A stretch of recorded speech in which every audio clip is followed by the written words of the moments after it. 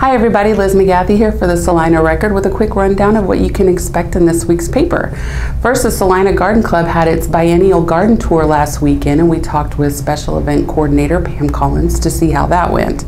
Then on Tuesday, the City Council enacted neighborhood empowerment zone reimbursements for the very first time, so you can find out what that means for the downtown area.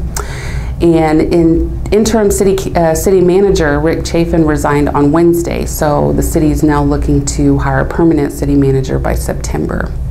Also in Celina ISD, uh, the school district was not affected by state funding cuts, but Superintendent Rick DeMaster still has something to say about it. Check out these stories and more in Friday's paper, and check us out on Star. I'm sorry, CelinaRecord.com, and visit visit us on Instagram at Star Local Media. Thanks for watching.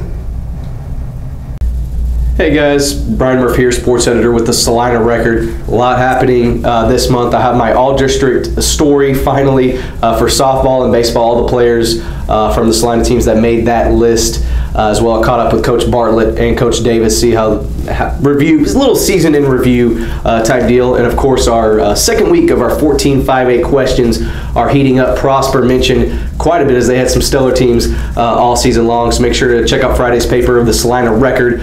And uh, also stay tuned on uh, starlocalmediasports.com for all this, our web stories that I'll uh, post online. Make sure to stay tuned to my Twitter as well, at Brian Murphy underscore for any updates and, and live tweeting and, and anything that may be happening right there. Thanks.